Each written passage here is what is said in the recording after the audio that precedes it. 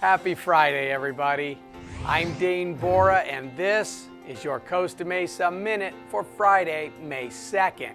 It's going to be crazy busy here in town this weekend. Seriously, there is a lot going on in Costa Mesa the next few days.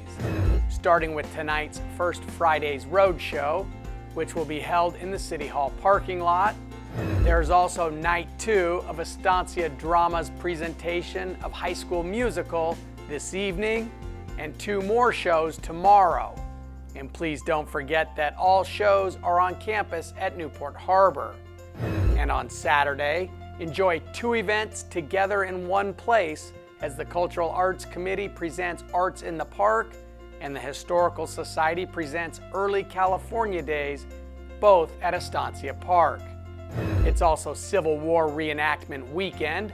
That's right, our friends at the American Civil War Society are bringing their weekend long event back to Fairview Park this weekend. American history comes to life at this truly unique event. And if all that is not enough, I haven't even told you about the biggest event of the weekend.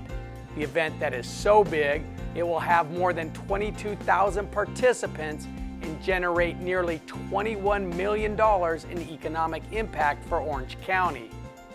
Yes, you got it. The 10th annual OC Marathon is in town this weekend with the popular Kids Run the OC on Saturday and the full, half, and 5Ks on Sunday.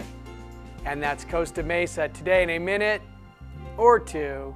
Remember, if it happens in Costa Mesa, it's news to us. I'm Dane Bora. There's plenty to do this weekend. Here's hoping you get out and enjoy some of it. We'll see you Monday.